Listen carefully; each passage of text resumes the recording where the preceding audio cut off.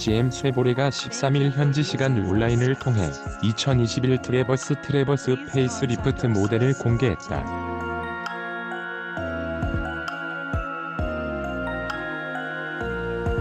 쉐보레는 신형 트래버스는 타호 타호에 영감을 받은 새로운 전면부 그릴, 상하로 분리된 날카로운 헤드라이트 및 테일라이트, 신형 휠 디자인 등 4가지 변화가 적용됐다고 밝혔다.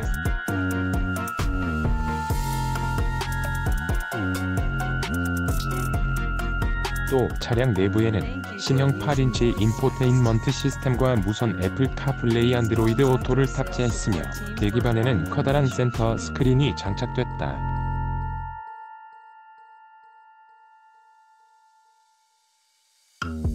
운전자 보조 기능의 경우 긴급 자동 제동 시스템, 차선 이탈 경고, 차선 이탈 방지 보조 시스템 등 표준 제공 사양이 대폭 늘어났으며 adaptive cruise control은 높은 트림에 적용된다고 설명했다.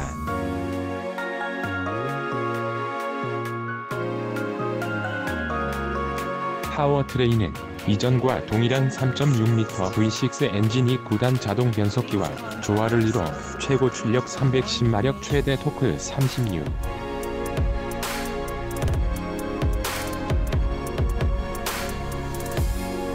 7kg 의 성능을 발휘한다. 2021 트래버스는 올해 말 판매가 시작되며 가격은 공개되지 않았으나 이전 모델 대비 다소 인상될 것으로 예상된다.